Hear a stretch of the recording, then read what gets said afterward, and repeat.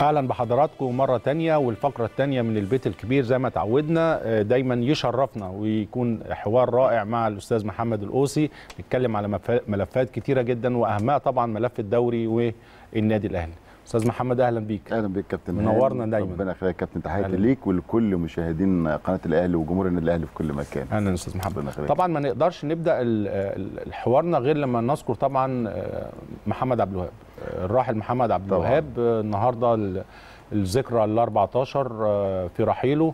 فحابب تقول إيه للذكرى ديت؟ يعني عليه رحمة الله طبعا وربنا يلهم أسرته الصبر طبعا والسلوان. واحد من العلامات في النادي الأهلي اللي ما زالت ليه محمد عبد الوهاب لغاية دلوقتي بعد 14 سنة الناس بتفتكره والصفحة. الرسمية بتحتفل بيه وجماهير الأهلي بتحتفل بيه والألتراس بيحتفل بيه وكل عشاق الأهلي بيحتفل بمحمد عبد الوهاب. ليه؟ ليه محمد عبد الوهاب؟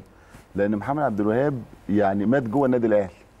يعني محمد عبد الوهاب فضل كل حياته آخر لحظة في حياته كانت بتشيرت الأهلي. كان وهو يعني عرق التمرين عليه وهو بيلفظ ألفاظه الأخيرة وروحه بتفيض إلى بارئها سبحانه وتعالى يعني. فمن هنا دي القيمة بتاعت محمد عبد الوهاب. أخلص للنادي الأهلي أخلص في عطاء للنادي الأهلي أخلص في حبه للنادي الأهلي حتى إن من أبرز الجمل اللي قالها عبر مسيرته عبر تاريخه يعني الأهلي لم يخلف معي وعدا يوم من الأيام.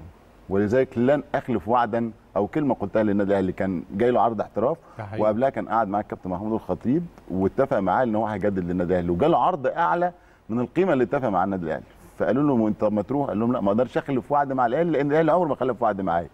من هنا كان الحب والانتماء والتقدير وقيمة محمد عبد الوهاب لاعب كبير جدا له بصمة كبيرة جدا في الكرة المصرية رغم الفترة الزمنية القليلة اللي, اللي, اللي, اللي, قضاها جوه النادي الأهلي ومع منتخب ده مصر. صحيح ده صحيح. آه، النادي الأهلي آه، خسر محمد عبد الوهاب كان يعني حاجة عظيمة جدا في الناحية اليسرى منتخب مصر خسره لكن قدر في وقت قليل جدا يعمل بصمة ويعمل قيمة هي مش بالطول ولا بالزمن ده ولا اللي مش كنت أقول لحضرتك مش بالفترات مش الطويلة. بالفترات الطويلة اللي أنت ممكن تلعبها يعني. ممكن تلعب بتأثيرك فترة قليلة جدا لكن يكون تأثيرك كبير جدا زي اللي عمل محمد عبد الوهاب. ده حقيقي ده حقيقي على المستوى الدولي كمان على المستوى الدولي منتخب- لاعب طب كأس عالم منتخب. ولعب كأس عالم الشباب مع كابتن حسن شحاته وفاز بيها في 2003 وكان من ضمن الناس اللي مقتنع بيها كابتن حسن شحاته بشكل كبير جدا ولعب معاه في 2006 كأس الامم حقيقي، 2006 مظبوط. أسبانيا وكان لاعب مميز جدا وكان ليه آه، آه، آه، تميزه في الناحية اليسرى وكان ليه تسديداته من الركلات الحره المباشرة اللي بيجيب منها أهداف مسجلة باسمه كان ليه ستايل كده في اللعب معين فلاعب يعني صعب جدا إنه يخرج من قلوب الأهلاوية كلهم ده حقيقي يعني. ده حقيقي وكلنا طبعا يعني كلنا يعني كنا اليوم ده صحينا على خبر صادم. يعني وزي ما بقول لك اللي بيعلي قيمته وبيعلي آه، قدره عند جماهير النادي الأهلي الجملة اللي حضرتك قلتها إنه وعد وطالما قال كلمة بيبقى قد الكلمة. آه،. وده جزء مهم جدا.